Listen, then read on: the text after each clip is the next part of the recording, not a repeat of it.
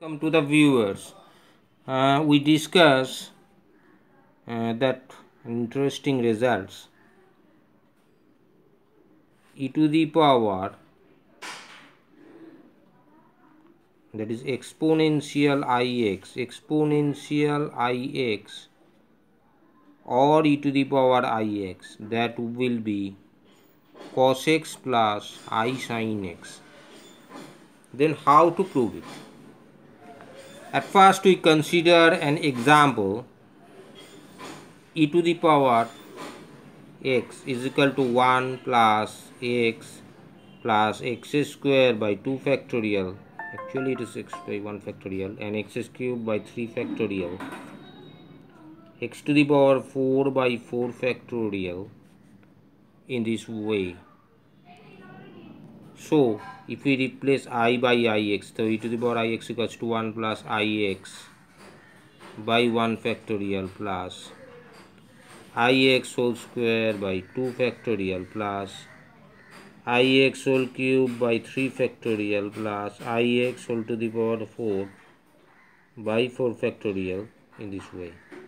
So if we split it 1 plus i x by 1 factorial i square is equal to minus 1 so x square by 2 factorial i cube that will be i square into i that will be minus of i x cube by 2 factorial i to the power 4 is 1 that is x to the power 4 by 4 factorial in this way.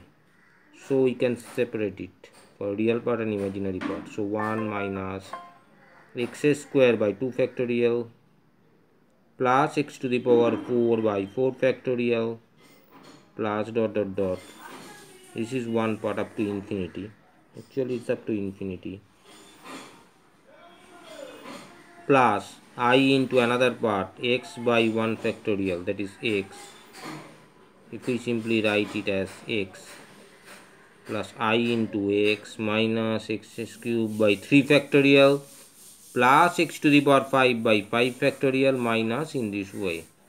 So it is clear from the expansion it is a cos cosine series of x. So cos x and it is sine. So it is sine x.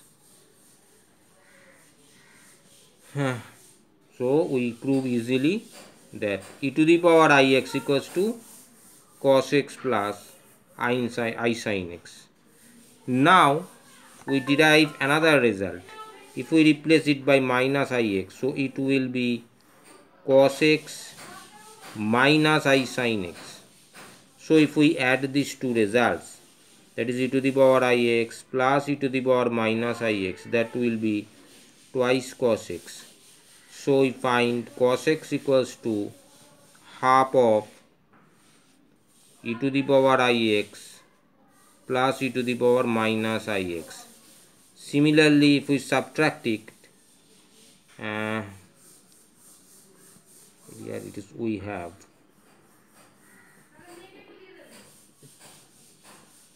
Similarly, we have e to the power ix minus e to the power minus ix that will be subtraction of these two. Twice i of sine x. So we can find sine x equals to 1 by twice i e to the power ix minus e to the power minus ix so now we end our discussions for giving some of the elementary idea about these few interesting results. Okay thank you